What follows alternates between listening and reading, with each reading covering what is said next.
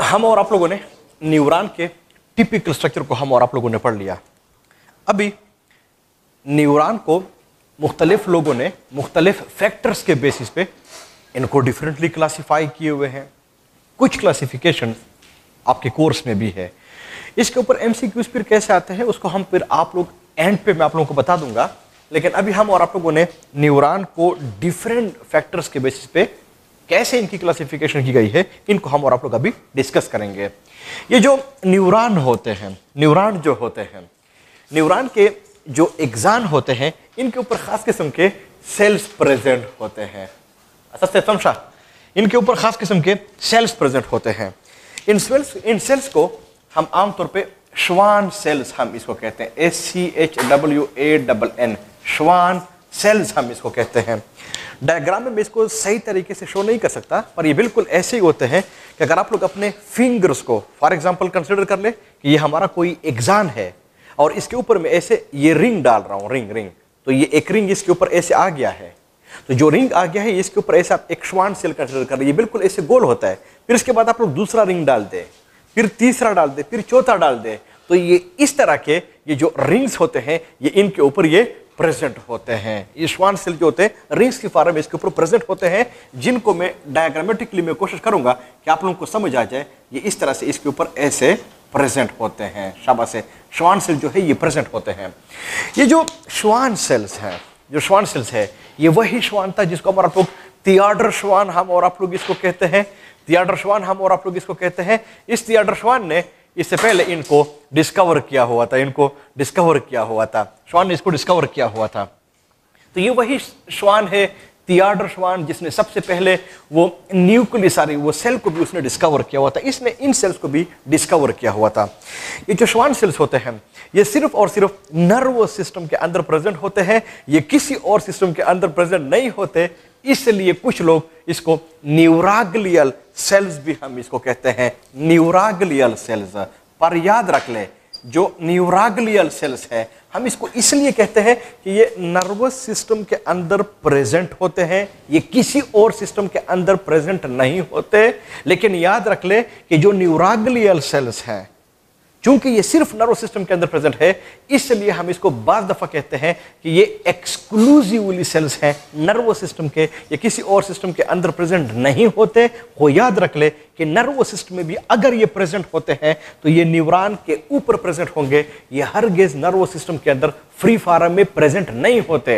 अगर कोई सेल ऐसा हो जो किसी और के ऊपर प्रेजेंट हो, फिर हम आमतौर पर इसको कहते हैं कि ये डिपेंडेंट सेल्स होते हैं। इसका मतलब कि जो न्यूरागलियल सेल्स होते हैं, ये डिपेंडेंट सेल्स हैं। ये फ्री फार्म में प्रेजेंट नहीं होते।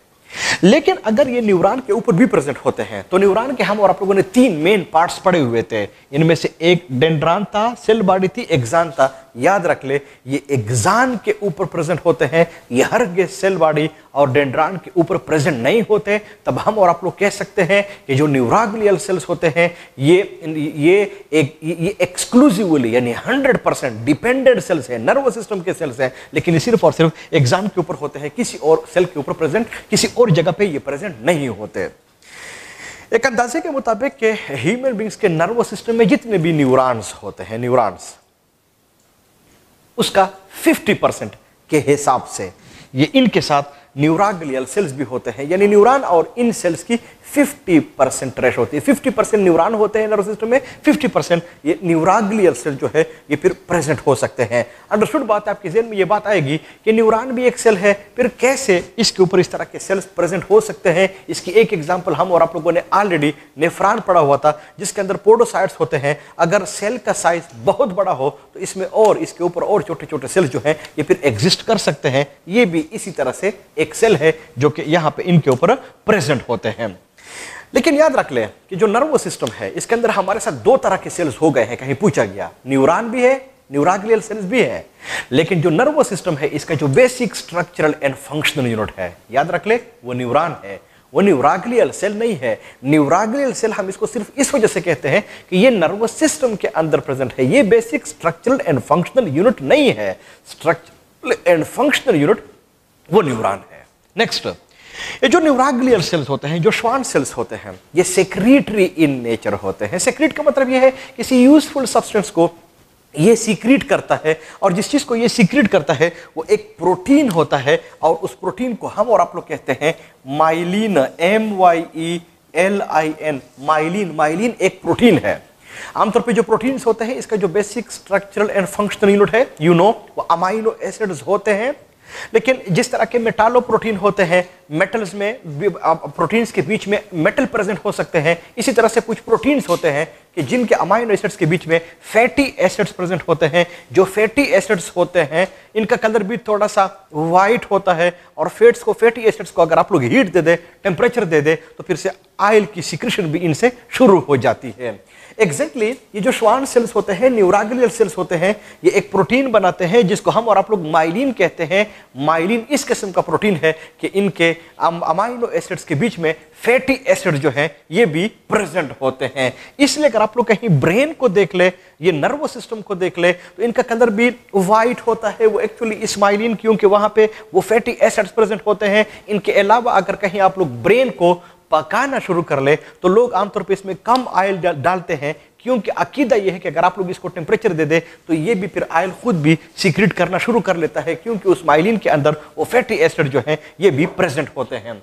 ये जो माइलिन होता है, इसका मेडिकल साइंस में यहाँ पे जो इंपॉर्टेंस है, वो ये है कि ये इंसुलेटर का काम करता है। यानी जो माइलिन है ना, ये एक्चुअली इंसुलेशन का काम करता है। इंसुलेटर का काम करते हैं और हम और आप लोग पढ़ेंगे कि जो न्यूरॉन होते हैं, जब इनके ऊपर नर्व इम्पल्स पास होते हैं तो वो इलेक्ट्रिक करंट के फॉर्म में होते हैं तो वो जो इलेक्ट्रिक करंट होता है, वहाँ पे इस इंसुलेटर का मेन फ़ंक्शन क्या होगा, वो फिर आप लोगों को पता चल जाएगा। लेकिन जो माइलिन होता है इसको जब ये श्वान सेल सिक्रीट करते हैं तो ये इसके अंदर की तरफ़ इसको सिक्रीट करते हैं। जैसे फॉर एग्जांपल अगर आप लोग मेरे फिंगर को देख ले तो जो फिंगर है, इसको आप लोग एग्जान कंसिडर कर ले। इसके ऊपर ये श्वान सेल्स है। ये श्वान सेल जब माइलिन सिक्रीट करता है तो ये अंदर की तरफ़ करता है। उस तरफ़, अंदर की तरफ़। इसके ऊपर नहीं होता।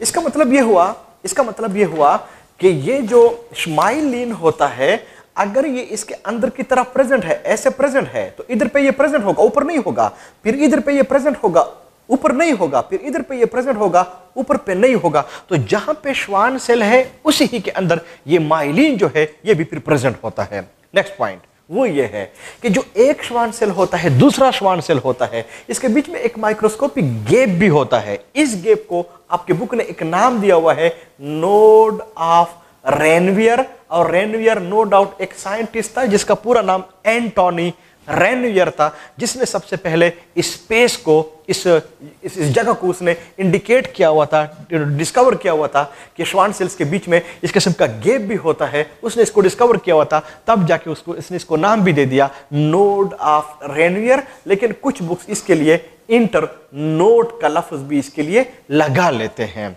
तो अगर हम और आप लोग न्यूरॉन को देख ले तो जहाँ पे श्वान सेल है, उसके नीचे माइलिन भी है। लेकिन जहाँ पे दो श्वान सेल्स है, इनके बीच में जो इंटरनोड है, नोड ऑफ़ रेनवियर है, वहाँ पे ये माइलिन प्रेजेंट नहीं होगा। इसका मतलब कि इसके ऊपर जो माइलिन प्रेजेंट होगा, इस पूरे के पूरे एग्ज़ाम के ऊपर, वो कंटिन्यूस नहीं होगा। उनमें ब्रेकिंग होगी, वो डिसकंटिन्यूस होगा। एक सेल और दूसरे सेल के बीच में ये गेप जो है ना, जहाँ पे ये प्रेजेंट होगा, नोड ऑफ़ रेनवियर होगा, वहाँ पे ये माइलिन जो है, ये भी फिर प्रेजेंट नहीं होगा। तो फिर हम कह सकते हैं तो फिर हम कह सकते हैं कि इसके ऊपर जो माइलिन प्रेजेंट होता है वो डिसकंटिन्यूस फॉर्म में प्रेजेंट होता है, वो ब्रेक फॉर्म में प्रेजेंट होता है, जहाँ पे श्वान सेल होता है, सिर्फ़ उधर होता है, जहाँ पे श्वान सेल नहीं होता नो डफ्रेनियर होता है, वहाँ पे ये माइलिन जो होता है, ये भी फिर प्रेजेंट नहीं होगा। तो हम और आप लोग न्यूरॉन को एक फैक्टर के बेस पे हम इसको क्लासिफाई कर सकते हैं। वो ये है कि क्या इसके ऊपर श्वान सेल है? यानी श्वान सेल के बेस पे हम इनको क्लासिफाई कर सकते हैं। क्या श्वान सेल है? यस है। क्या श्वान सेल नहीं है? नो नहीं है। अगर श्वान सेल है तो अंडरस्टूड बात है। वहाँ पे माइलिन भी प्रेजेंट होगा। अगर श्वान सेल नहीं है तो फिर वहाँ पे माइलिन भी नहीं होगा। लेकिन जो माइलिन इसके ऊपर प्रेजेंट होगा तो याद रख ले, वो डिसकंटिन्यूस फॉर्म में प्रेजेंट होगा। लेकिन अगर नहीं है, फिर तो हम और आप लोग इस बात को डिस्कस तक नहीं कर सकते। तो अगर इसके ऊपर माइलिन है तो अगर ये डिसकंटिन्यूस फार्म में प्रेजेंट है तो ये बिल्कुल ऐसे होता है, जिस तरह कि आप किसी चीज़ के ऊपर शीट लगा दे। वो नहीं होता शीट कपड़ा लगा दे, कोई शीट से लगा दे प्लास्टिक लगा दे। वो चीज़ जो है ना, ये इस फॉर्म में इसके ऊपर प्रेजेंट होगी तो फिर वो जो शीट होगा, वो भी कंटिन्यूस नहीं होगा। माइलिन की डिसकंटिन्यूस शीट जो है, ये फिर प्रेजेंट होगी। तो फिर मैं ऐसे भी कह सकता हूँ कि जो न्यूरॉन होते हैं, इनको श्वान सेल के बेस पे नहीं माइलिन शीट के बेस पे भी हम इनको दो ग्रुप में क्लासिफाई कर सकते हैं। माइलिनेटेड न्यूरॉन और नॉन माइलिनेटेड न्यूरॉन। जो माइलिनेटेड न्यूरॉन होगा, उसके ऊपर माइलिन की शीट होगी, लेकिन वो डिसकंटिन्यूस होगी। जो नॉन माइलिनेटेड न्यूरॉन होंगे, इसके ऊपर माइलिन की शीट प्रेजेंट नहीं होती। लेकिन अगर माइलिन की शीट होगी तो इसके ऊपर श्वान सेल भी होंगे। अगर इसके ऊपर श्वान सेल नहीं है, माइलिन की शीट नहीं है, इसका मतलब कि वहाँ पे श्वान सेल जो है, ये भी फिर प्रेजेंट नहीं होंगे। ये जो माइलिनेटेड न्यूरॉन होते हैं, इसको कुछ लोग मेडुलेटेड न्यूरॉन भी कहते हैं। कोर्स में तो नहीं है, पर आप लोगों को ऐसे ही पता होना चाहिए। मेडुलेटेड न्यूरॉन भी हम इसको कहते हैं, लेकिन जिसके ऊपर श्वान सेल नहीं है, माइलिन की शीट नहीं है, उसको आमतौर पे नॉन मेडुलेटेड न्यूरॉन भी हम इसको कहते हैं। इसका मतलब कि माइलिन की शीट पे दो किस्म के सेल्स जो है, ये प्रेजेंट हो सकते हैं, मेडुलेटेड और नॉन मेडुलेटेड। इसके बेस पे भी आप इसको क्लासिफाई कर सकते हैं।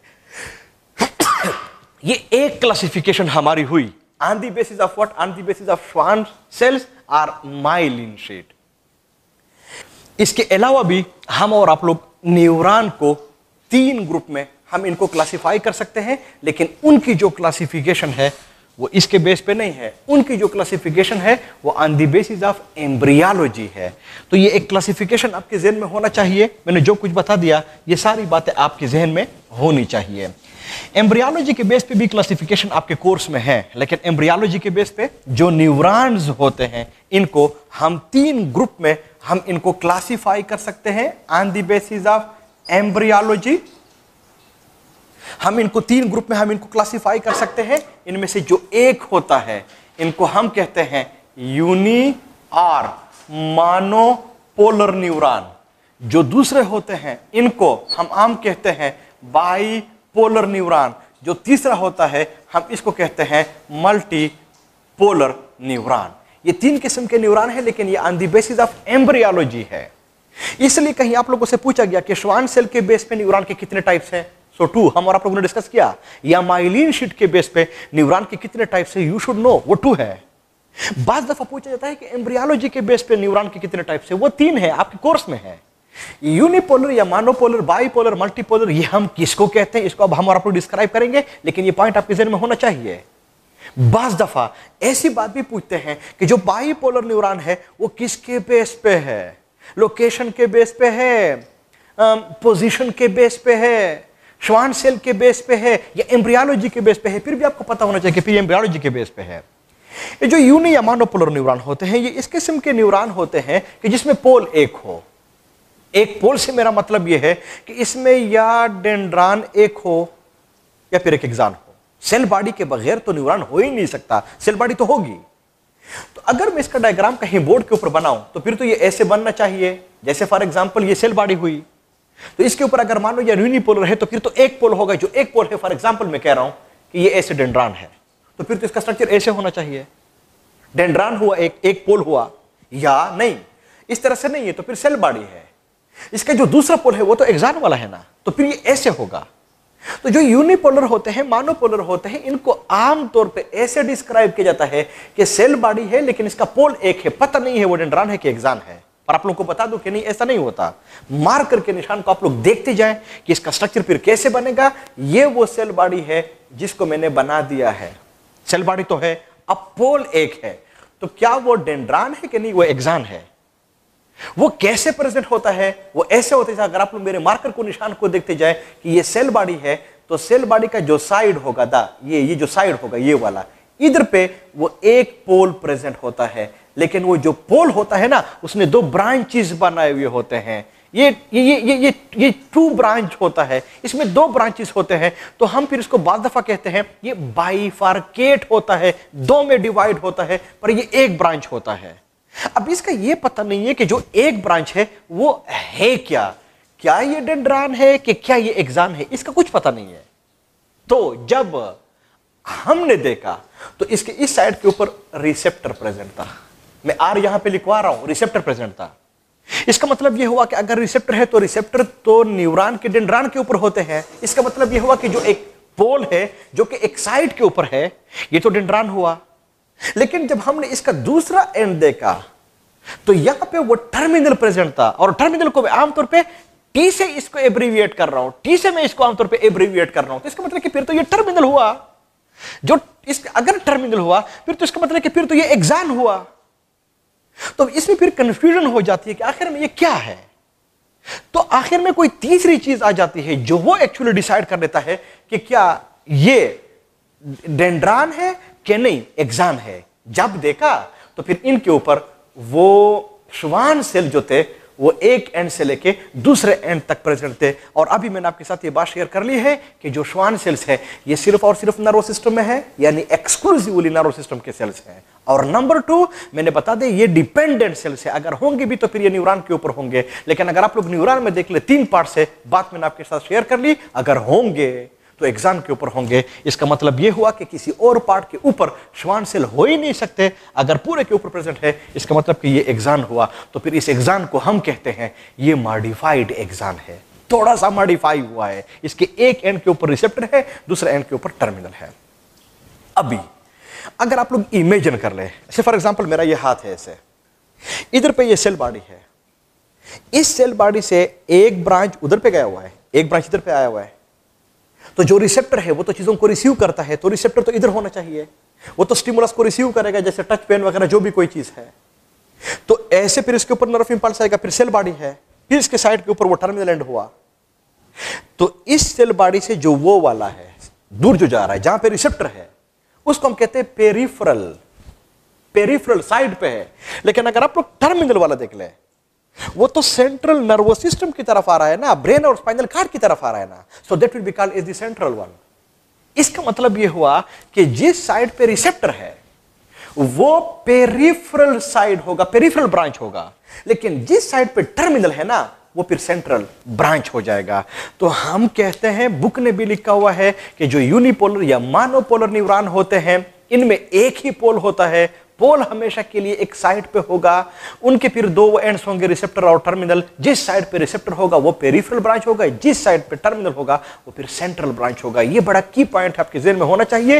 हो, अगर आप लोग यूनिपोलर या मानोपोलर न्यूरॉन को देख ले तो इनमें जो सेल बॉडी होती है, वो एक साइड पे होते हैं। तो आमतौर पर बाद दफ़ा एमसीक्यू में ये बात भी पूछी जाती है कि अगर किसी न्यूरॉन में सेल बॉडी एक तरफ़ हो, एक साइड पे हो तो उसको हम और आप लोग क्या कहते हैं? यू शुड नो ये फिर यूनिपोलर या मानोपोलर न्यूरॉन जो है, ये फिर प्रेजेंट होगा। जो बाईपोलर होते हैं नाम से ज़ाहिर है बाईपोलर इसमें दो पोल होते हैं। हाँ सेल बॉडी है मैं बार बार बता रहा हूँ सेल बॉडी के बगैर तो न्यूरॉन हो ही नहीं सकता। दो पोल होते हैं तो एक डेंड्रान होगा एक एग्जान होगा। हाँ वो जो डेंड्रान होता है एक डेंड्रान इनसे फिर सेकेंडरी पता नहीं कितने लिखने होंगे हर एक सेकेंडरी से फिर टर्सरी पता नहीं कितने लिखे होंगे ये प्रेजेंट होंगे। इसी तरह से जो एग्ज़ाम होगा वो भी इस तरह से ब्रांच होगा जिस तरह के मैंने आप लोगों को न्यूरॉन का टिपिकल स्ट्रक्चर बत, बताया हुआ था।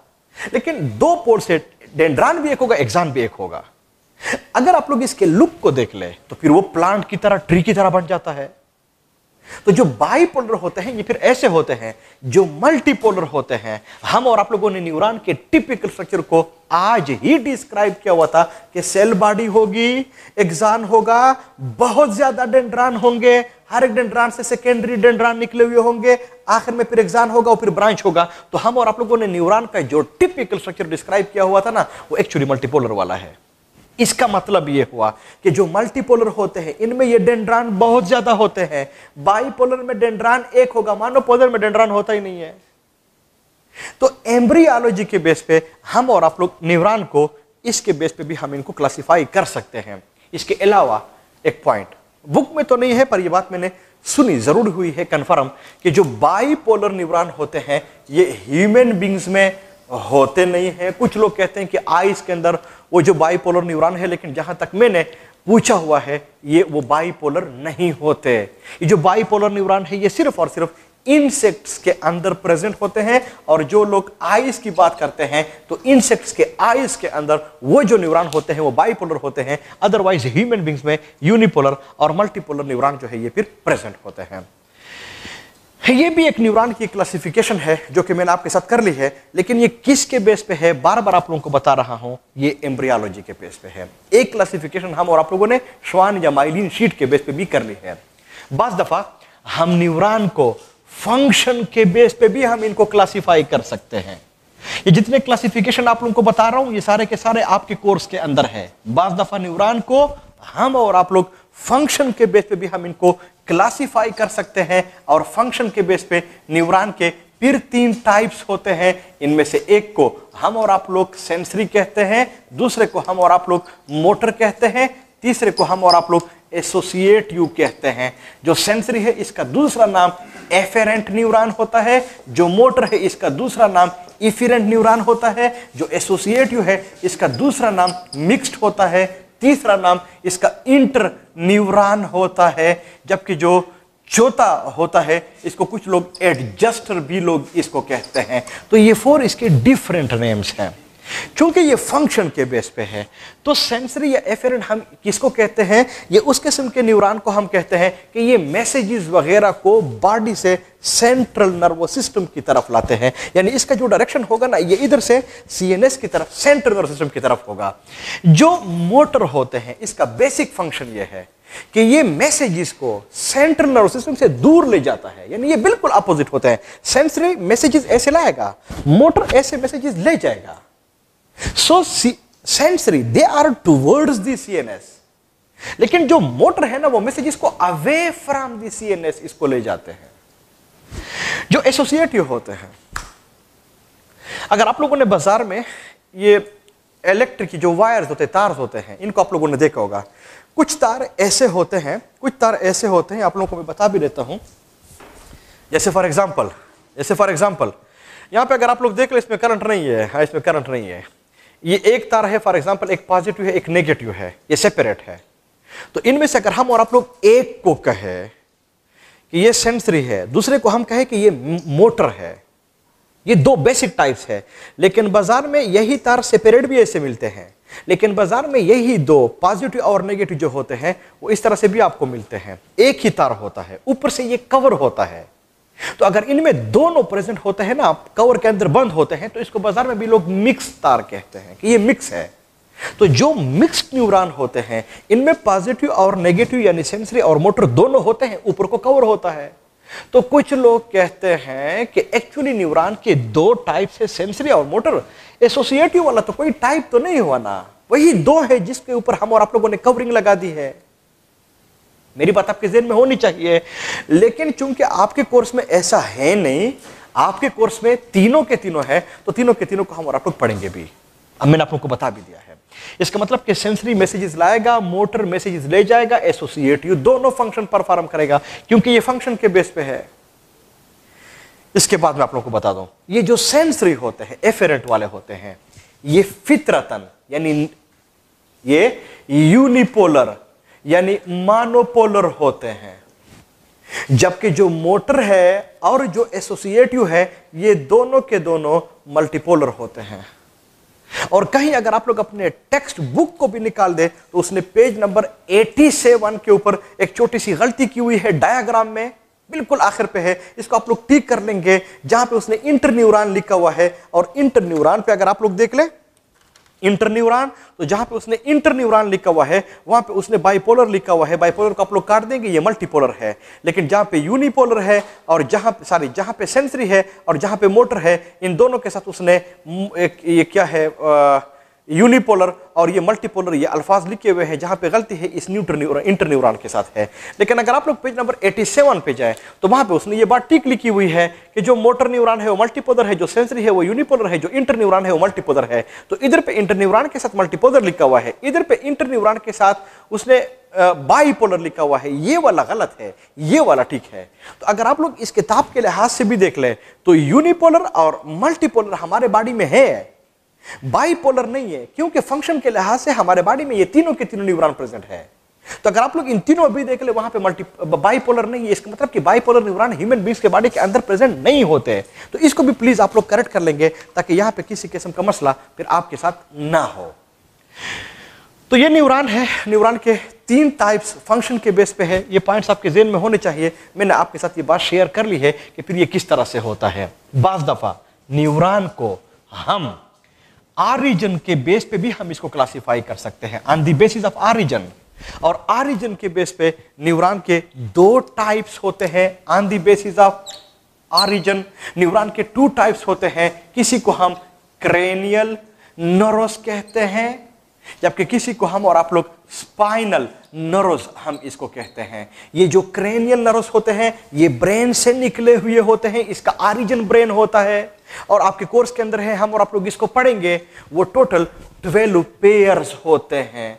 जबकि ये जो स्पाइनल नर्व्स होते हैं, ये टोटल थर्टी वन पेयर्स होते हैं और ये स्पाइनल कार्ड से निकले हुए होते हैं। इसका आरिजन स्पाइनल कार्ड होता है, तब जाके हम आमतौर पे इनको स्पाइनल नर्व्स भी हम इसको कहते हैं। इसका मतलब ये हुआ कि अगर आप लोग न्यूरॉन को क्लासिफिकेशन को आपके कोर्स में देख ले तो चार फैक्टर्स के बेसिस पे इन्होंने इनको क्लासिफाई किए हुए हैं। जो पहला वाला है, वो बता दिया, श्वान सेल या माइलिन शीट के बेस पे है। जो दूसरा है, वो एम्ब्रियोलॉजी के बेस पे है। जो तीसरा है, वो फ़ंक्शन के बेस पे है। जो चौथा है वो फिर ऑरिजिन के बेस पे है, पूछा जा सकता है। इनमें से आप लोगों को कोई नर्व दे देगा कि सन सेंसरी न्यूरॉन किसके बेस पे हैं। उधर पे ये चार टर्म जो मैंने बता दिए हैं, फिर आप लोगों को पता होना चाहिए कि ये फ़ंक्शन के बेस पे है। बाज दफ़ा कि ऑरिजिन के बेस पे न्यूरॉन के कितने टाइप्स होते हैं, या फ़ंक्शन के लिहाज से, या एम्ब्रियोलॉजी के लिहाज से, या माइलिन या श्वान शीट के लिहाज से कितने टाइप्स होते हैं, फिर आप लोगों को पता होना चाहिए। न्यूरॉन की हम और आप लोगों ने न्यूरॉन का हम और आप लोगों ने टिपिकल स्ट्रक्चर हम और आप लोगों ने पढ़ा। न्यूरॉन का शाबा से जो टाइप्स हैं, उनको भी हम और आप लोगों ने पढ़ा। पढ़ा। अब ये जो न्यूरॉन होते हैं, ये ह्यूमन बींग्स में नर्वस सिस्टम को बना लेते हैं। बहुत ही आसान टॉपिक है। कुछ हद तक मैं आप लोगों को समझा रहता हूँ। बाकी आपके कोर्स के अंदर बहुत ज़रा बातें लिखी हुई हैं और मैं आपको बता दूँगा कि इन चीज़ों को आप लोग देख लेंगे, इसके ऊपर किस तरह के एम जो है ये फिर आ जाते हैं। तो हमारा और आप लोगों का जो अभी क्वेश्चन है, असल क्वेश्चन इसके बाद वो है नर्वस सिस्टम मैं ऊपर हेडिंग दे देता हूँ नर्वस सिस्टम मैं ह्यूमन का नाम नहीं लिखवा रहा हूँ। मैं नर्वस सिस्टम का लफ्ज मैंने लिखवा दिया है। आपको बता देता हूँ कि एक्चुअली ये है क्या। अगर हम और आप लोग पूरे किंगडम एनिमेलिया में देख ले, पूरे किंगडम एनिमेलिया की मैं बात कर रहा हूँ तो वहाँ पे तीन तरह के नर्वस सिस्टम जो है, ये प्रेजेंट होते हैं। इनमें से एक को हम और आप लोग कहते हैं इरिटेबिलिटी ये लफ्ज आपके कोर्स के अंदर है और इसका दूसरा नाम है सेंसिटिविटी तो इरिटेबिलिटी आर सेंसिटिविटी ये भी एक किस्म का नर्वस सिस्टम है, जो कि किंगडम एनिमेलिया में कुछ एनिमल्स के अंदर प्रेजेंट होता है। इरिटेबिलिटी या सेंसिटिविटी क्या होती है? ये किस किस्म का नर्वस सिस्टम होता है? आप लोगों ने फ़र्स्ट ईयर में किंगडम एनिमेलिया में फाइलम प्रोटोजोन्स के बारे में पढ़ा होगा। जो फाइलम प्रोटोजोन्स होते हैं, ये यूनिसेलुलर एनिमल्स होते हैं। इसके पूरे बॉडी के अंदर एक ही सेल होता है। तो अगर आप लोग नर्वस सिस्टम को देख ले, वो करता क्या है? वो ये करता है कि अगर आपको कोई स्टिमुलस आ जाए, वो रिसीव कर लेता है और उसी ही के मुताबिक वो रिस्पॉन्स भी करता है। तो अगर आप लोग फाइलम प्रोटोजोन्स में देख ले इसकी एग्ज़ाम्पल हम और आप लोग ले लेते हैं एमीबा जो कि यूनिसेलर एनिमल है। अगर यूनिसेलर है तो इसमें फिर एक सेल है। अगर एक ही सेल है तो उसके अंदर तो फिर न्यूरॉन पॉसिबल हो ही नहीं सकता, क्योंकि अगर ये न्यूरॉन हुआ तो फिर तो ये यूनिसेलर एनिमल नहीं हुआ, फिर तो ये मल्टीसेलर एनिमल हुआ। तो अगर मैं पूछूँ कि कहीं एमीबा के सामने अगर कोई स्टिमुलस आ जाए फॉर एग्ज़ाम्पल लाइट तो क्या वो उस लाइट को रिस्पॉन्स करेगा? हाँ करेगा। तो अगर मैं पूछूँ, अगर वो रिस्पांस कर रहा है तो क्या इसके अंदर नर्वस सिस्टम है? ना, नहीं है। न्यूरॉन है? नहीं है। अगर हुआ तो फिर तो ये यूनिसेलर नहीं हुआ। फिर तो ये मल्टीसेलर एनिमल हुआ। तो फिर जहन में सवाल तो आ जाता है ना कि आखिर एमीबा के अंदर क्या है? कि वो इन किस्म की चीज़ों को रिस्पांस कर सकता है। इसी तरह से अगर आप लोग देख ले phylum Protozoa unicellular animal amoeba इसको अगर कहीं आप लोग टेम्परेचर दे दे कोल्ड दे दे, क्या इसके खिलाफ वो रिस्पॉन्स शो करेगा? हाँ करेगा। तो क्या इसके अंदर न्यूरॉन है? ना, नहीं है। अगर हो तो फिर तो ये यूनिसेलर एनिमल नहीं हुआ, फिर तो मल्टीसेलर हुआ। फिर जहन में सवाल आ जाता है कि आखिर क्या है इसके बॉडी के अंदर जो इस किस्म की चीज़ों को रिस्पॉन्स कर सकता है? अगर इस एमीबा जो कि यूनिसेलर है, जो कि प्रोटोजोन से बिलोंग करता है, कोई एनिमी सामने आ जाए फ्रेंड सामने आ जाए स्टिमुलस है वो तो क्या इसके खिलाफ वो रिस्पॉन्स शो करेगा? भागेगा? कि नहीं, उसके साथ ही ठहरेगा हाँ रिस्पॉन्स शो करेगा। तो फिर जहन में सवाल आ जाता है ना कि आखिर क्या है? जो कि इस स्टिमुलस के खिलाफ भी ये रिस्पॉन्स शो कर सकता है। इसी तरह से अगर आप लोग एमीबा जो कि यूनिसेलर है, जो कि फाइलिंग प्रोटोजोन से बिलोंग करता है, अगर आप इसको कोई काने वाली चीज़ें देखिए, ये इडिबल है काने वाली है। ये चीज़ है जो काने वाली नहीं है नॉन एडिबल है। क्या ये इन चीज़ों में डिफ्रेंशिएट कर सकता है रिस्पॉन्स शो कर सकता है? हाँ कर सकता है, इसमें कोई शक नहीं है। तो फिर जहन में सवाल आ जाता है कि इस रिस्पांस को शो करने के लिए तो नर्वस सिस्टम नर्वस सिस्टम का basic structure and function unit neuron तो क्या इसके बॉडी के अंदर न्यूरॉन है? ना, नहीं है तो नहीं है। तो फिर आखिर इसके अंदर कौन सी चीज़ है जो कि इस किस्म के रिस्पॉन्स को शो कर सकता है? इन सब का आंसर मैं एक लफ्ज में दे देता हूँ। कि इन एनिमल्स में नर्वस सिस्टम नहीं है, कि आखिर इन एनिमल्स के अंदर क्या है? तो मैंने बता दिया ना कि इसका सिंपल आंसर यह है कि इन चीज़ों के खिलाफ ये रिस्पांस किसके थ्रू शो करेगा? The one and only thing and we call it it cytoplasm तो इस किस्म का नर्वस सिस्टम, कि जिसमें न्यूरॉन ना हो, जिसमें नर्वस सिस्टम ना हो लेकिन साइटोप्लाज्म न्यूरॉन की तरह फ़ंक्शन परफॉर्म कर सके, इसका इरिटेबिलिटी और सेंसिटिविटी इसका मतलब यह हुआ कि इन एनिमल्स में हर गेज नर्व सिस्टम नहीं होगा, इनमें हर गेज न्यूरॉन नहीं होंगे, लेकिन न्यूरॉन या न्यूरॉन की तरह फ़ंक्शन वो इसका साइटोप्लाज्म परफॉर्म करेगा and this type of nerve system इसका इरिटेबिलिटी और सेंसिटिविटी और पूरे किंगडम एनिमेलिया में सिर्फ़ और सिर्फ़ इसके दो ही फाइलम्स हैं, जिसके अंदर इरिटेबिलिटी या सेंसिटिविटी होती है।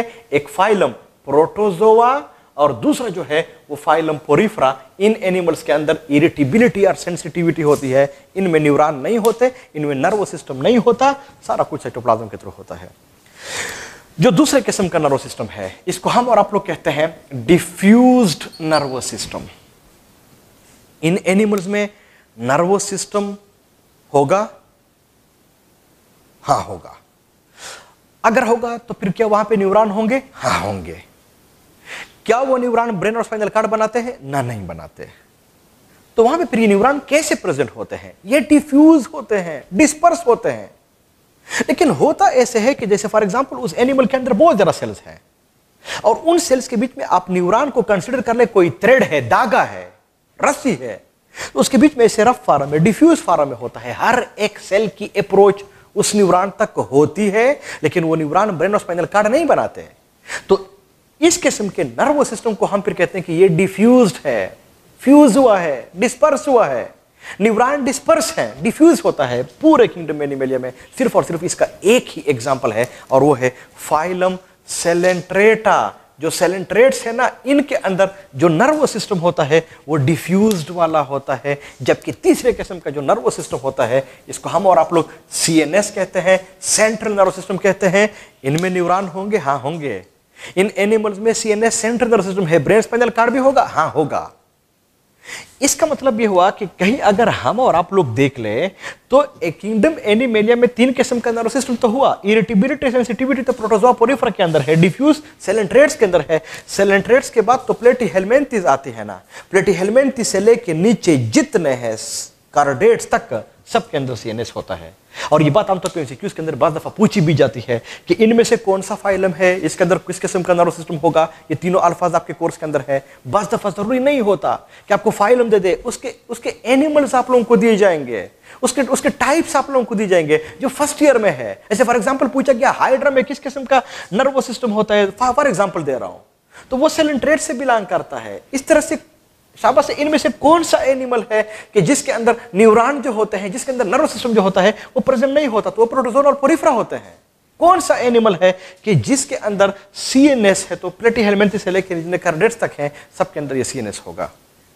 तो आपके कोर्स के अंदर जो है, वो तो सारा का सारा ह्यूमंस का है। इसका मतलब ये हुआ कि हम और आप लोग जिस सिस्टम को हम पढ़ेंगे, वो तो ह्यूमन नर्वस सिस्टम हम और आप लोग पढ़ेंगे। और जो ह्यूमन का जो नर्वस सिस्टम है, उसमें कौन सा वाला होगा? उसमें सीएनएस होगा सेंट्रल नर्वस सिस्टम होगा। इसलिए हम और आप लोग सीएनएस सेंट्रल नर्वस सिस्टम ही को हम और आप लोग डिस्क्राइब करेंगे। ये जो ह्यूमंस का नर्वस सिस्टम होता है, चूँकि ये बहुत टॉप पे है तो इनमें सिर्फ़ और सिर्फ़ ये जो ह्यूमन नर्व सिस्टम होता है इनमें चूँकि बहुत ज़्यादा टॉप पे होता है तो आसानी के लिए हम आमतौर पे इनको फिर दो सब ग्रुप्स में, दो सब टाइप्स में हम इनको पढ़ते हैं। एक को हम और आप लोग कहते हैं सीएनएस और दूसरे को हम और आप लोग कहते हैं P N S and you know C N S stand for central for system and P N S stand for peripheral nervous system जो सी एन एस है इनको हम फिर दो पार्ट्स में स्प्लिट करते हैं। एक इनमें जो आता है, उसको हम और आप लोग ब्रेन कहते हैं, जबकि दूसरे को हम आमतौर पे स्पाइनल कार्ड हम इसको कहते हैं। ब्रेन से जो नर्वस निकले हुए हैं, उनको हम और आप लोग फिर स्पाइनल नर्वस हम और आप लोग इसको कहते हैं, जबकि जो स्पाइनल कार्ड से सारी जो ब्रेन से निकले हुए हैं, इनको हम और आप लोग क्रेनियल नर्वस सॉरी हम और आप लोग इनको क्रेनियल नर्व्स हम इसको कहते हैं, लेकिन जो स्पाइनल कार्ड से निकले हुए हैं, इनको हम स्पाइनल नर्व्स हम और आप लोग इसको कहते हैं। ये दोनों के दोनों आपके कोर्स के अंदर है। सीएनएस को भी हम पढ़ेंगे पीएनएस को भी हम और आप लोग पढ़ेंगे। तो अभी जिसको हम और आप लोग शुरू कर रहे हैं, वो सीएनएस है। लेकिन आपके जेन में बात होनी चाहिए कि सीएनएस में हम और आप लोग स्पाइनल कार्ड भी पढ़ेंगे, ब्रेन भी हम और आप लोग पढ़ेंगे। इसके ऊपर किस तरह के एमसीक्यूज आते हैं, वो एंड पे आप लोग को बता दूँगा। इसी तरह से जो पीएनएस है, इनमें क्रेनियल नर्वस को भी हम पढ़ेंगे कोर्स में है। जबकि जो स्पाइनल नर्वस है, इनको भी हम पढ़ेंगे। ये आपके कोर्स के अंदर है, इनके ऊपर किस तरह के एमसीक्यूज आते हैं, ये भी फिर आपके साथ हम शेयर करेंगे। तो चाहिए ये था कि हम सीएनएस में पहले ब्रेन को शुरू कर लेते लेकिन नहीं, कुछ टर्म्स हैं जिनको समझना ज़रूरी होता है, वो स्पाइनल कार्ड के अंदर है। तो पहले मैं स्पाइनल कार्ड आप लोगों को समझा देता हूँ, फिर इसके बाद हम और आप लोग ब्रेन को शुरू कर लेंगे। टॉपिक्स आसान है, इतने मुश्किल नहीं है। फिर इसके बाद हम और आप लोग पीएनएस को शुरू कर लेंगे। अगर आप लोग कहीं मैं स्पाइनल कार्ड को शुरू कर रहा हूँ, अव्वल बात तो ये है, ये दो थोड़े कंफ्यूजन वाले वर्डिंग है, इसको आप लोग समझने की कोशिश कर ले। ह्यूमन बींग्स जब ये पहले, हम इसको पढ़ेंगे ग्रोथ एंड डेवलपमेंट में, जो सबसे पहला बोन बनता है बोन बोन उसको हम और आप लोग नोटोकार्ड हम इसको कहते हैं। जो सबसे पहला बोन बनता है, उसको हम और आप लोग नोटोकार्ड कहते हैं नोटोकार्ड नोटोकार्ड के अंदर फिर बाद में सेगमेंटेशन हो जाती है और इससे फिर वर्टिब्रल कालम बन जाता है। तो आज जो हमारा ये वर्टिब्रल कालम है इसका जो पहला वाला बोन था, उसको हम और आप लोग नोटोकार्ड कहते हैं। इसका मतलब कि नोटोकार्ड से फिर बाद में वर्टिब्रल कॉलम बन जाता है। तो वर्टिब्रल कॉलम में कितने वर्टिब्री होते हैं? 33 इसमें कितने बोन्स होते हैं? 26 सपोर्ट एंड मूवमेंट चैप्टर के अंदर बहुत आसान है। आप लोग इनको पढ़े भी होंगे। ये जो नोटोकार्ड होता है, इसके अंदर जो चीज़ प्रेजेंट होती है, वो नर्वस सिस्टम का स्पाइनल कार्ड होता है। और नो डाउट जब ये नोटोकार्ड कन्वर्ट हो जाता है इनटू वर्टिब्रल कॉलम तो वर्टिब्रल कॉलम के अंदर क्या होता है? वही स्पाइनल कार्ड होता है।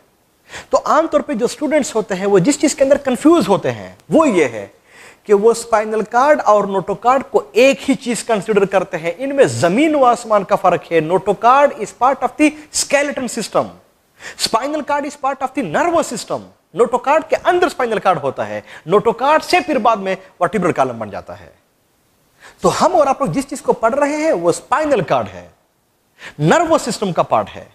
तो आप लोग इमेजिन कर ले इमेजिन कर ले कि मैं हाथ से ऐसे जो निशान बना रहा हूँ, ये कोई और चीज़ नहीं है, ये वर्टिब्रल कॉलम है, इसमें हर एक फिंगर जो आप लोगों को ऐसे नज़र आ रही है, ये वो वर्टिब्री है। So vertebrae number one two three four ऐसे जाए थर्टी थ्री तक है।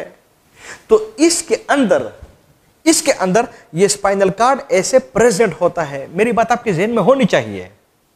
तो अगर मैं इस वर्टिब्रल कॉलम से स्पाइनल कार्ड को निकाल दूँ तो स्पाइनल कार्ड को मैं एक साइड पे रख रहा हूँ, आप लोगों को समझा रहा हूँ। तो इसके अंदर एक बहुत बड़ी केविटी आप लोगों को नज़र आ रही है। इस कैविटी को हम कहते हैं न्यूरल केनाल। बुक के अंदर यह लफ्ज लिखा हुआ है, आप लोगों को समझ आनी चाहिए। तो न्यूरल केनाल कहाँ होता है? ये वर्टिब्रल कॉलम के अंदर एक केविटी होती है, जिसके अंदर वो स्पाइनल कार्ड जो है ये प्रेजेंट होता है। क्लियर? नंबर टू, अगर आप लोग इससे उस स्पाइनल कार्ड को आप लोग निकाल दे, उसको मैंने रख दिया है, यहाँ पे न्यूरल केनाल है, आप लोग अपने फिंगर को ले ले, नेल ले ले, और इस बोन का जो अंदर वाला साइड होना है, होता है ना, इसको आप लोग थोड़ा ऐसे स्क्रैच करें। तो स्क्रेच करने के बाद एक बारीक सी मेम्ब्रेन आपके नेल के साथ अटैच हो जाएगी। कहाँ से आपने ये सेपरेट कर ली है? जो वर्टिब्रल कॉलम है, इसका जो अंदर वाला साइड है, बाहर वाला नहीं, अंदर वाला साइड इसको स्क्रेच कर ले। तो वहाँ पे एक बारीक सी मेम्ब्रेन होती है। उस मेम्ब्रेन को हम कहते हैं ड्यूरा मेम्ब्रेन बुक ने लफ्ज लिखा हुआ है D U R A dura membrane dura ये लैटिन वर्ड है। और आम अंग्रेज़ी में इसका मतलब होता है, इसका मतलब होता है टफ। सख्त। इसका मतलब ये हुआ कि जो ड्यूरा है, ये मेम्ब्रेन फितरतन सख्त होगा। और क्यों सख्त होगा? क्योंकि ये ये ये मेम्ब्रेन असल में इस बोन के साथ अटैच है। तो बोन सख्त तो ये मेम्ब्रेन भी सख्त। मेरी बात आपके जेन में होनी चाहिए। फिर से आप लोगों को समझा देता हूँ। फॉर एग्ज़ाम्पल हमारे साथ ये कोई वर्टिब्रल कालम था। वर्टिब्रल कालम के अंदर ये हमारा स्पाइनल कार्ड था। स्पाइनल कार्ड को मैंने निकाला न्यूरल केनाल उधर पे ड्यूरा मेम्ब्रेन। क्लियर फिर से बता देता हूँ। शाबाश है, अगर हम और आप लोग इस स्पाइनल कार्ड को हम और आप लोग निकाल दें, और हम और आप लोग अभी स्पाइनल कार्ड को हम देख लें तो स्पाइनल कार्ड की लेंथ कितनी होती है? 17 18 इंचिस एवरेज डायामीटर कितना होता है? हाफ़ इंच क्यों इसलिए एवरेज का लफ्ज में इस्तेमाल कर रहा हूँ कि जो स्पाइनल कार्ड होता है, इसका जो इंटीरियर सा वाला साइड होता है, यहाँ पे यहाँ पे डायमीटर ज़्यादा होता है, नीचे जाते हैं तो बुक ने लिखा हुआ है, इसकी टेपरिंग होती है T A P E R I N G tapering mean बारीक होता जाता है नेरो होता जाता है। तो उधर पे डायमीटर आखिर पे यहाँ पे बहुत कम हो जाएगा। लेकिन इसका जो एवरेज है ना, वो हाफ़ इंच होता है। तो 17 18 इंच 17 टू 18 इंच इसकी लेंथ है हाफ़ इंच इसका एवरेज डायमीटर हुआ। जब मैंने स्पाइनल कार्ड को निकाला और इसके ऊपर मैंने ऐसे नेल से इसको स्क्रैच किया तो इसके ऊपर भी एक बारीक सी मेम्ब्रेन प्रेजेंट थी। And that membrane is called pia P I A pia pia membrane और पाया ये भी लेटिन वर्ड है और इसका मतलब होता है सॉफ्ट इसका मतलब यह हुआ कि कौन सा वाला टफ हुआ ड्यूरा कौन सा वाला सॉफ्ट हुआ, पाया। पाया किसके ऊपर है? पाया स्पाइनल कार्ड के ऊपर है। ड्यूरा कहाँ पे है? वो वर्टिब्रल कॉलम के अंदर है, नीचे है। प्लीज़ अब मेरी तरफ़, ताकि आपके लिए फिर ये मसला ना हो। ये जो कुछ मैंने बना दिया है, ये वाला, ये वर्टिब्रल कॉलम इस वर्टिब्रल कॉलम के अंदर जो स्पाइनल कार्ड प्रेजेंट है, इसके अंदर जो केविटी थी, उसको हम और आप लोगों ने न्यूरल कैनाल का हुआ था, अब ये इधर पे प्रेजेंट है। अब हम कैसे डिस्क्राइब कर रहे हैं कि इधर पे वो ड्यूरा इसके ऊपर पाया, इसके बीच में केविटी है स्पेस है। This space is actually called the neural canal so I can say neural canal यानी sorry the space between dura and pia is called neural canal और इस स्पेस के अंदर होता क्या है? एक फ्लूइड होता है। उस फ्लूइड को हम कहते हैं, क्या है? लिम्फेटिक फ्लूइड और इस लिम्फेटिक फ्लूइड का मेन फ़ंक्शन क्या है?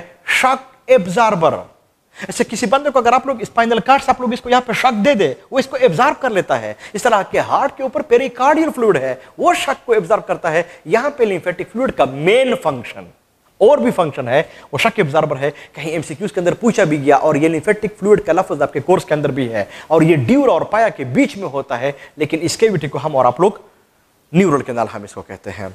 अगर आप लोग इसको ऐसे निकाल दें, निकालने के बाद कहीं अगर आप लोग इसका ट्रांसफ़र सेक्शन काट दे, ऐसे। काटे और काटने के बाद ही मैं आप लोगों को दिखाऊँ तो फिर तो ये आप लोगों को कुछ ऐसे नज़र आएगा ना। तो अगर हम और आप लोग इसको बोर्ड के ऊपर बना दे तो फिर ये आपके साथ कैसे बनेगा? फॉर एग्ज़ाम्पल मैं इसको यहाँ पे ऐसे बना रहा हूँ, गोल सा बना रहा हूँ। तो ये जो गोल, जो रेड नज़र आ रहा है, ये वो पाया है।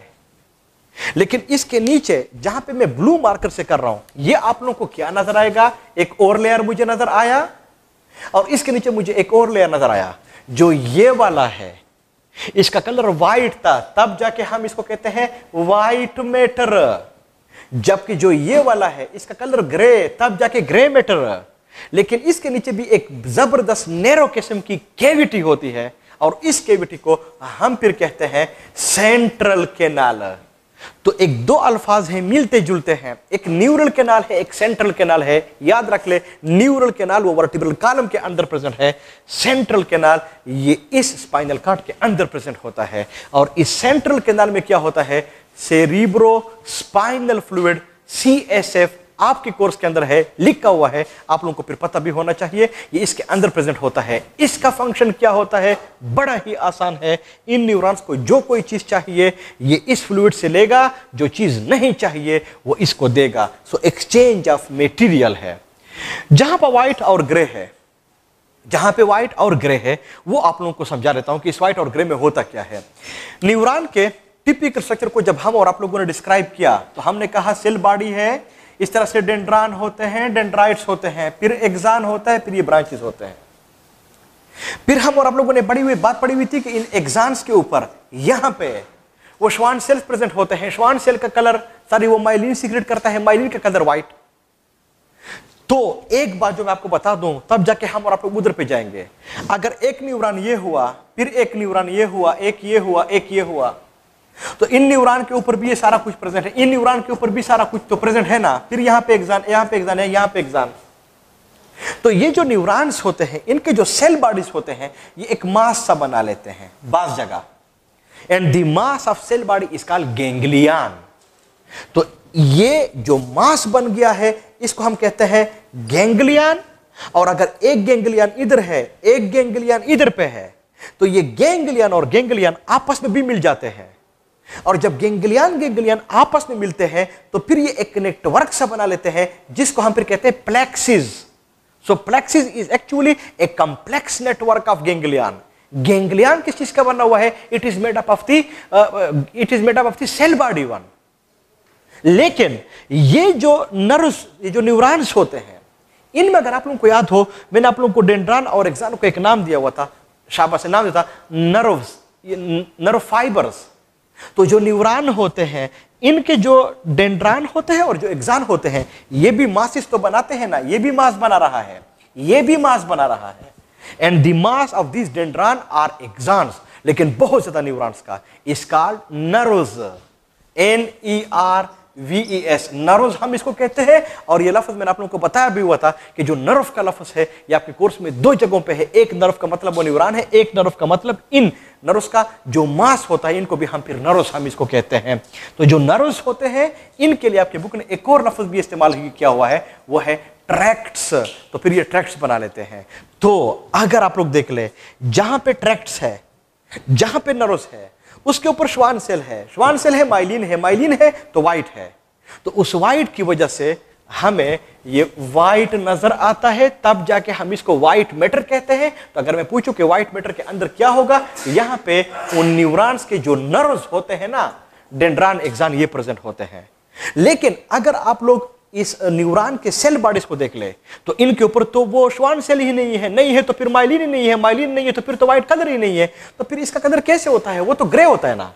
इसका मतलब कि जो ग्रे वाला एरिया है, इसके अंदर जो चीज़ प्रेजेंट होती है, वो कोई और नहीं होता। ये सेल बॉडी का मासिस यहाँ पे प्रेजेंट होते हैं, गेंगलियान होते हैं, वो प्लेक्सिस बनाते हैं, ये प्रेजेंट होते हैं। नेक्स्ट। ये तो स्पाइनल कार्ड का वो टिपिक पिक्चर जो मैंने आप लोगों को बता दिया है। अब आपके बुक ने एक बड़ा खूबसूरत लफ्ज लिखा हुआ है। वो ये है कि मैंने आप लोगों को बता दिया कि जो शाबा से हमारे साथ ऐसे वर्टिब्रल कॉलम है। वर्टिब्रल कॉलम के अंदर ये ऐसे स्पाइनल कार्ड प्रेजेंट था। तो अगर हम आप लोग इसे स्पाइनल कार्ड को निकाल दे तो मैंने बता दिया कि इसके ऊपर पाया है, इसके ऊपर तो ड्यूरा है अंदर ड्यूरा है। स्पाया और ड्यूरा इसको कलेक्टिवली आपके बुक ने एक लफर इस्तेमाल किया हुआ है मेनिंजिस तो मेनिंजिस स्पाइनल कार्ड में कितने लेयर का हुआ दो का dura and pia and dura and pia are collectively called meninges तब जाके कुछ लोग कहते हैं कि स्पाइनल कार्ड में जो मेनिंजिस होता है वो डुप्लेट होता है दो लेयर्स का बना हुआ होता है इनमें एक ड्यूरा है एक पाया है ड्यूरा का भी पता होना चाहिए पाया का भी पता होना चाहिए कि फिर ये कैसे प्रेजेंट होते हैं स्पाइनल कार्ड के आमतौर पे जो फ़ंक्शन जो होते हैं, वो ब्रेन से नीचे वाले जितने भी बॉडी के अंदर पार्ट्स होते हैं, ये इनको भी कंट्रोल करते हैं। इनके अलावा जितने भी ये रिफ्लेक्स एक्शंस होते हैं बॉडी में, इनको भी कंट्रोल करने के लिए ये स्पाइनल कार्ड ही रिस्पॉन्सिबल होता है। तो ये स्पाइनल कार्ड के बारे में हम और आप लोग पढ़ा? अभी ब्रेन के बारे में हम और आप लोग पढ़ेंगे जब हम और आप लोग इसको कवर कर ले, फिर इनसे जो नर्व्स निकले हुए हैं, इनको फिर हम और आप लोग पढ़ेंगे। अभी जिस चीज़ को मैं शुरू कर रहा हूँ, वो है ब्रेन लेकिन याद रख ले, जो ब्रेन है, वो ह्यूमन ब्रेन है, वो किसी और चीज़ का ब्रेन नहीं है। ये ह्यूमन ब्रेन है, जिसको हम और आप लोग अभी डिस्कस कर रहे हैं।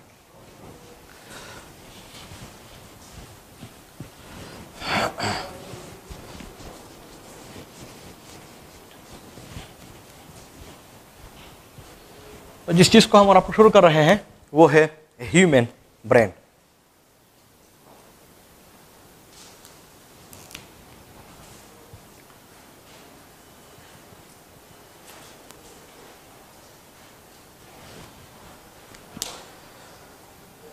ओके जी, ये जो ह्यूमन ब्रेन होता है, एक अंदाजे के मुताबिक कि ये ह्यूमन बींग्स के बॉडी का बॉडी वेट का टू परसेंट होता है। यानी नॉर्मल बॉडी वेट का। जो नॉर्मल बॉडी वेट है ह्यूमन बींग्स का, वो 75 फाइव होता है। वो 75 फाइव होता है। और अगर आप लोग ये 75 फाइव का टू परसेंट निकाल दे तो अगर 100 के होता तो फिर ये ब्रेन हमारे दो के होता। अगर 50 तो फिर एक के हुआ। लेकिन ये 75 है, इसका मतलब कि ये 1.5 पॉइंट बन जाता है। इसका मतलब कि एक नॉर्मल ह्यूमन बींग में जो ब्रेन होता है, इसका जो वेट होता है, वो 1.5 के होता है। और अगर आप लोग 1.5 के से आप लोग इसको कन्वर्ट कर ले ग्राम में तो फिर ये 1500 ग्राम बन जाता है। इतना तकरीबन इसका वेट होता है एक नॉर्मल ह्यूमन बींग के बॉडी के अंदर। ब्रेन में क्या होता है? न्यूरॉन ही होते हैं। लेकिन जो न्यूरॉन होते हैं, वो बुक्स लिखते हैं कि तकरीबन ये 100 बिलियन होते हैं। यानी तकरीबन 100 बिलियन न्यूरॉन जो है ना वो ब्रेन के अंदर प्रेजेंट होते हैं। पर जो ब्रेन है और जो स्पाइनल कार्ड है, ये दोनों के दोनों सीएनए सेंट्रल नर्व सिस्टम के पार्ट है। इसके अंदर ये न्यूरॉन प्रेजेंट होते हैं, पर ये जितने भी न्यूरॉन होते हैं, ये सारे के सारे एसोसिएटिव होते हैं। और जो एसोसिएटिव है यू नो ये मल्टीपोलर न्यूरॉन होते हैं। याद रख ले, ब्रेन और स्पाइनल कार्ड यानी सीएनएस में मोटर न्यूरॉन और सेंसरी न्यूरॉन नहीं होते। 100 परसेंट बुक ने भी लिखा हुआ है एसोसिएटिव न्यूरॉन होते हैं और जो एसोसिएटिव होते हैं, ये मल्टीपोलर न्यूरॉन होते हैं। इसके अलावा ये जो न्यूरॉन्स होते हैं, जो कि एसोसिएटिव होते हैं, हम पढ़ेंगे भी, ये फिर साइनेप्स भी बनाते हैं, वो जो जंक्शंस बनाते हैं। तो अगर आप लोग इस ब्रेन के अंदर इन जंक्शंस को काउंट कर ले तो तकरीबन ये 100 ट्रिलियन साइनेप्स जो है ना, ये फिर इनको बना लेते हैं। आप अंदाज़ा लगा सकते हैं कि कितने ज़्यादा साइनेप्स जो है, ये इनके अंदर प्रेजेंट होते हैं। ये जो ब्रेन होता है, इसके ऊपर केविटीज भी प्रेजेंट होते हैं ब्रेन के ऊपर होते हैं। उनको हम फिर वेंट्रिकल्स कहते हैं। तो वेंट्रिकल्स वही उसका स्पेलिंग है जो हार्ट के अंदर होते हैं, ये वेंट्रिकल्स भी उसी तरह से होते हैं। लेकिन वो जो ब्रेन वाले वेंट्रिकल्स हैं, ये फोर होते हैं, जबकि जो हार्ट वाले वेंट्रिकल्स होते हैं, वो टू होते हैं। उन वेंट्रिकल्स के अंदर हार्ट वाले के अंदर ब्लड होता है, इन वेंट्रिकल्स के अंदर फ्लूड होता है। और उस फ्लूइड को हम और आप लोग सेरिब्रोस्पाइनल फ्लूइड कहते हैं, ये वेंट्रिकल्स होते हैं, ये फोर होते हैं, और इसके अंदर सेरिब्रो स्पाइनल फ्लूइड जो है, ये फिर प्रेजेंट होता है। लेकिन आपके बुक ने वेंट्रिकल का लफज नहीं लिखा हुआ है, उन्होंने लिखा हुआ है कि वहाँ पे डिप्रेशन प्रेजेंट होते हैं, जिनको हम टिपिकली वेंट्रिकल्स हम और आप लोग इनको कहते हैं। इनके अलावा नो डाउट इनमें न्यूराग्लियल सेल्स भी ब्रेन के अंदर प्रेजेंट होते हैं। लेकिन कहीं अगर आप लोग ह्यूमन बींग से किसी और एनिमल से ब्रेन को वैसे आप लोग निकाल दे तो अंदर तो स्कल है ना कोपड़ी है ना तो उसी कोपड़ी को भी अगर आप लोग फिर ऐसे नेल से स्क्रैच करें तो उधर पे भी एक मेम्ब्रेन प्रेजेंट होता है, उस मेम्ब्रेन को हम फिर कहते हैं, वही बात है ड्यूरा और ड्यूरा मैंने आप लोगों को बता दिया, लेकिन जब आप लोग ब्रेन को निकाल दे तो कहीं अगर आप लोग कसाई के दुकान पे भी जाए, उधर भी देख ले तो ब्रेन एक कवर के अंदर बंद होता है। मेम्ब्रेन के अंदर बंद होता है। लोग जब आमतौर पे इसको पकाते भी हैं, बनाते भी हैं तो पहले उस मेम्ब्रेन को रिमूव कर लेते हैं। अगर कहीं आप लोग इस मेम्ब्रेन को फिर से देख ले तो फिर ये एक लेयर नहीं होता, ये दो सब लेयर का बना होता है। आहिस्ता आहिस्ता आप इसको हटाए स्लोली हटाए, जो नीचे वाला होता है that is called as the pia P I ए पाया हम इसको कहते हैं। इस तरह के पाया हम और आप लोगों ने उधर पे भी पढ़ा। लेकिन इस पाया के ऊपर एक और मेम्ब्रेन भी होता है, और इसको हम और आप लोग कहते हैं एरेक्नॉइड। एरेक्नॉइड हम इसको कहते हैं। इसका मतलब ये हुआ कि जो ब्रेन है, वहाँ पे जो लेयर्स हैं, ये तीन हैं। और इन तीन को हम और आप लोग कलेक्टिवली फिर कहते हैं, मेनिंजिस। इसका मतलब कहीं पूछा गया स्पाइनल कार्ड में जो मेनिंजिस है, वो डुप्लेट है। ब्रेन के ऊपर जो मेनिंजिस है, वो ट्रिपलेट है। ये बड़ा ज़बरदस्त फ़र्क है, बुक में भी है। और इसको आप लोग कहते हैं एरेक्नाइड। एरेक्नाइड को हम एरेक्नाइड क्यों कहते हैं? फ़र्स्ट ईयर में आप लोगों ने फाइलम आर्थ्रोपोडा पढ़ा होगा। आर्थ्रोपोड्स के अंदर क्लासेस है, उन क्लासेस में से एक क्लास है जिसको हम एरेक्नीट कहते हैं। एरेक्नीट के अंदर क्या, कौन से इंसेक्ट्स प्रेजेंट है, ये स्पाइडर्स वगैरह होते हैं। स्पाइडर का काम क्या होता है? ये वेब बनाता है, जाल बनाता है। कहीं अगर आप लोगों ने ब्रेन को देखा हुआ हो, इसके ऊपर वो वेब सब प्रेजेंट होता है, जाल सब प्रेजेंट होता है।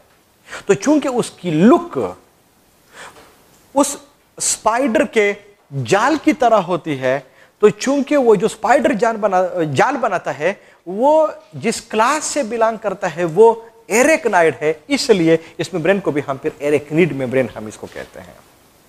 ये जो ब्रेन होता है, इसको हम आमतौर पे जब भी हम इसको स्टडी करते हैं तो हम कहते हैं कि इसके अंदर तीन मेन पार्ट जो है, ये प्रेजेंट होते हैं। इनमें से एक को हम और आप लोग कहते हैं फोर ब्रेन दूसरे को मिड ब्रेन और तीसरे को हम और आप लोग हाइन ब्रेन हम इसको कहते हैं। ये जो फोर ब्रेन होता है, इसके अंदर फिर दो सब पार्ट्स प्रेजेंट होते हैं। इनमें से एक को हम और आप लोग टेलन सेफेलान कहते हैं, जबकि दूसरे को हम और आप लोग डाइन सेफेलान हम इसको कहते हैं। ये जो टेलन सेफेलान है, इसके अंदर फिर दो क्लासिफिकेशन है। ऑल्फैक्ट्री लोब्स हैं और इनके अलावा सेरिब्रम होता है। अल्फेक्ट्री लोब का मेन फ़ंक्शन क्या है? जस्ट वन बहुत आसान है। सब ऐसे ही आप लोग इसको देखेंगे स्मेल है। अल्फेक्शन से निकला हुआ है। स्मेल से निकला हुआ है। और हम और आप लोगों ने अल्फेक्टरी वाले रिसेप्टर भी पड़े हुए थे। इसका मतलब कि जो नोज़ है, उनके अंदर जो अल्फेक्शन वाले रिसेप्टर हैं, इनको कंट्रोल करने के लिए जो है ये अल्फेक्ट रीजन है। तब जाके बाद दफ़ा एमसीक्यूज के अंदर ये बात पूछी जाती है कि जो अल्फेक्टरी लोब्स है, ये ब्रेन में किसका हिस्सा है? किसका पार्ट है? फोर मिड या हाइंड या बाद दफ़ा पूछा जाता है कि अल्फेक्टरी लोब किसका पार्ट है? टैलेंट से फैलान डाइन से फैलान बोथ या कोई और चीज़ दी गई होगी? बाद दफ़ा पूछा जाता है कि अल्फेक्टरी लोब का मेन फ़ंक्शन तो स्मेल बार दफ़ा पूछा जाता है कि अगर बंदा है, उसने एक्सीडेंट किया कंफ्यूज करने के लिए, आप लोगों को ऐसे एमसीक्यू दे देगा कि अगर उसने एक्सीडेंट किया अल्फेक्टरी लोब ही डैमेज हुए। तो फिर इसके अंदर कौन सा मसला पैदा हो जाएगा? अंडरस्टूड बातें कोई और नहीं होगा। वो स्मेल ही जो है, वो फिर डिस्टर्ब हो जाएगी। जो दूसरा पार्ट है सेरिब्रम बहुत आसान है सिंप्लीफाई कर रहा हूँ। इसमें फिर दो होते हैं you know left and right cerebral hemisphere और दोनों के दोनों, सबको पता होता है किससे मिले होते हैं? कार्पस्कोलोसम से। तो जो सेरिब्रम है, ये मेन पॉइंट आपको पता होना चाहिए ब्रेन का सबसे बड़ा पार्ट ये है। तकरीबन 85 टू 90 परसेंट सेरिब्रम होता है। तब जाके तो कुछ लोग ब्रेन को सादा अल्फाज में मेडिकल साइंस में लोग इसको सेरिब्रम भी कहते हैं। हालाँकि सेरिब्रम के अलावा और भी पार्ट्स हैं, लेकिन चूँकि ये लार्जेस्ट पोर्शन है, इसलिए हम इसको सेरिब्रम भी कहते हैं। इसका मेन फ़ंक्शन इंटेलिजेंस है। 24 फोर आवर्स में ये अगर आप लोग देख लें इंटेलिजेंस आप लोग जो मतलब लेते हैं, वही इसका मतलब है, ये इनको कंट्रोल भी करते हैं। लेकिन आपके बुक ने इनके कुछ और और फ़ंक्शन भी लिखे हुए हैं। देख लेंगे आप लोग इसको खुद ही। आसान है, बहुत आसान है। वो देख लेंगे, जैसे थिंकिंग है इंटेलिजेंस में। रीजनिंग है। ये उससे चार पाँच कुछ कुछ फ़ंक्शन लिखे हुए हैं। इनको आप लोग देख लेंगे, वही बात होगी। उसी तरह से एमसीक्यू होगा। फ़ंक्शन दिया होगा। ब्रेन में ये कौन सा पार्ट कंट्रोल करता है, देख ले अगर ये फ़ंक्शन इससे रिलेट तो फिर सेरिब्रम होगा। या बाद दफ़ा अगर किसी बंदे ने कोई एक्सीडेंट किया या कुछ डैमेज हुआ, किसी ने शूट किया, खुदा ना खास्ता कुछ हुआ, और इसका सेरिब्रम डैमेज हुआ तो इनमें से कौन सा मसला इसके अंदर क्रिएट हो जाएगा? वहाँ पे स्मेल भी होगा, वहाँ पे इंटेलिजेंस भी होगी, वहाँ पे बॉडी के अंदर मूवमेंट्स भी होगी, वहाँ पे अंदर कोई और फ़ंक्शन भी होगा। सो यू शुड नो कि इसका मेन फ़ंक्शन क्या है। आप लोग इसको ऐसे देख लेंगे, बहुत आसान है। बुक के अंदर उन्होंने क्लियर कट लिखे हुए हैं। बजाय कि मैं इसको मेंशन कर लूँ। जो डाइन से फैलान है, इसके अंदर फोर पार्ट्स होते हैं। ये बात आमतौर पर पूछते हैं टैलेंट से फैलान के अंदर कितने पार्ट्स होते हैं? टू डाइन से फैलान के अंदर कितने होते हैं फोर जो पहला है, हम और आप लोग इसको तेलामस कहते हैं। दूसरा हाइपोथैलामस कहते हैं। तीसरा एमेगडेला कहते हैं। चौथा हिप्पोकैम्पस कहते हैं। तेलामस का मेन फ़ंक्शन लिखा हुआ है। एक एक फ़ंक्शन है। लिखा हुआ है। इसका मेन फ़ंक्शन यह है कि ये बॉडी को सेरिब्रम के साथ अटैच करता है। जनरली बता दो, खुदा ना खास्ता किसी बंदे के अंदर अगर ये तेलामस डैमेज हो जाए तो फिर ये कोमा के अंदर आमतौर पे चले जाते हैं। ब्रेन काम करता है बॉडी रिस्पॉन्स ही नहीं करती, क्योंकि ये बॉडी को टच करता है।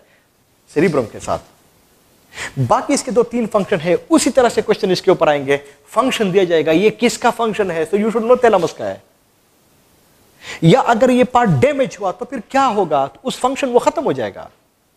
जो हाइपोथैलेमस है, इसका मेन फ़ंक्शन यह है कि ये ह्यूमन बींग में नर्वस सिस्टम को केमिकल कोऑर्डिनेशन के साथ इसको अटैच करता है लिंक करता है। तो तेलामस बॉडी को सेरिब्रम के साथ मिलाता है। हाइपोथैलेमस केमिकल कोऑर्डिनेशन को नर्वस सिस्टम के साथ इसको अटैच करता है लिंक करता है। बाकी इसने वो वाले फ़ंक्शन लिखे हुए हैं कि हाइपोथैलेमस का थर्स्ट है हंगर है एटसेट्रा चार पाँच है, ये आपको होमवर्क दे रहा हूँ। आप लोग इसको ज़रूर देख लेंगे, वो इसी तरह से क्वेश्चन होंगे। फ़ंक्शन होगा, इनमें से किसका है? या ये पार्ट डैमेज हुआ तो इसका कौन सा फ़ंक्शन खराब हो जाएगा? जो एम है, जो एम है, इनके जो फ़ंक्शंस होते हैं ये इमोशंस को कंट्रोल करते हैं। ये पनिशमेंट वगैरह इमोशंस होते हैं। ये इन चीज़ों को ये कंट्रोल करते हैं। जो हिप्पो कैंपस होते हैं, ये दो मेन काम कराता है। शॉर्ट टर्म मेमोरी को लॉन्ग टर्म मेमोरी में कन्वर्ट करता है और इनके अलावा नेविगेशन आपको रास्ता दिलाता है। तो उसी तरह के क्वेश्चन आप लोगों को आ सकते हैं कि शॉर्ट टर्म मेमोरी को लॉन्ग टर्म मेमोरी में कन्वर्ट कर लेकिन कौन रिस्पॉन्सिबल है? या ये है, या ये है, इस तरह की बात इसके ऊपर आ जाती है।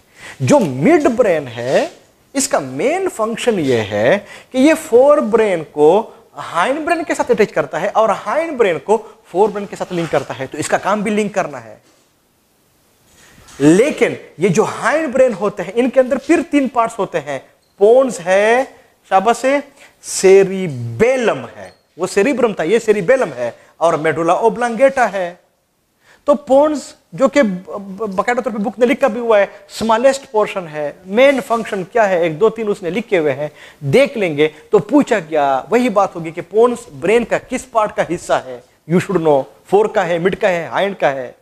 कहीं पूछा गया कि पोन जो है, अगर ये डैमेज हो जाए तो फिर वही बात होगी, इनमें से क्या फ़ंक्शन खराब हो जाएगा? या कोई फ़ंक्शन दिया जाएगा, इनमें से ये किसका फ़ंक्शन है? तो फिर वो पोन्स का होगा। Cerebellum second largest portion cerebrum largest second largest portion is cerebellum main function muscular movements इसके अंदर तीन लोब्स होते हैं। एक सेंट्रल होता है, दो साइड्स पे होते हैं, लेकिन सबका फ़ंक्शन मस्कुलर मूवमेंट्स तब जाके खुदा ना खास्ता किसी बंदे के अंदर अगर ये सेरिबेलम डैमेज हो जाए तो मस्कुलर मूवमेंट्स खराब हो जाते हैं शेकी होता है जर्की होता है। इसी तरह से जो मेडुला ओब्लांगेटा है लास्ट पार्ट है, आखिरी हिस्सा है, इसी हिस्से वो फिर स्पाइनल कार्ड निकला हुआ होता है राइट और इसका मतलब ये कि इसका मेन फ़ंक्शन क्या है कि स्पाइनल कार्ड को ब्रेन के साथ लिंक करता है। तो आप लोगों को इन चीज़ों का भी पता होना चाहिए कि कौन सा पार्ट ब्रेन के किस हिस्से को या कौन सा हिस्सा किसके साथ किसको लिंक करता है, मिलाता है। बाकी उसने फ़ंक्शन लिखे हुए हैं वोमिटिंग है कफिंग है, आसान आसान है, इनको फिर आप लोग खुद ही देख लेंगे। आसान बात है, लेकिन एमसीक्यू इसके ऊपर कैसे आते हैं, तकरीबन के तकरीबन मैंने आपके साथ शेयर कर लिए हैं। ये सारा का सारा था ह्यूमन्स नर्वस सिस्टम में शाबा से जो ब्रेन है और जो स्पाइनल कार्ड है, ये कैसे होता है, ये बात मैंने आपके साथ शेयर कर ली है, लेकिन ये सीएनएस है सेंट्रल नर्वस सिस्टम है। अब हम आ जाते हैं पेरिफेरल नर्वस सिस्टम के ऊपर। इसमें भी कुछ क्वेश्चंस हैं जिनको आप लोग समझने की कोशिश करेंगे, लेकिन बार बार आप लोगों को बता रहा हूँ प्लीज़ आप इस साल के लिए इसको कुछ हद तक ज़रूर देख ले। क्यों? कि ये जो होते हैं बहुत ही ज़्यादा इंपॉर्टेंट होते हैं। इसको आप लोग खुद ही देख लेंगे। कि फ़ंक्शन कौन सा है और कहाँ पे रिलेट करता है और किस तरह से ये सारा कुछ हो जाता है।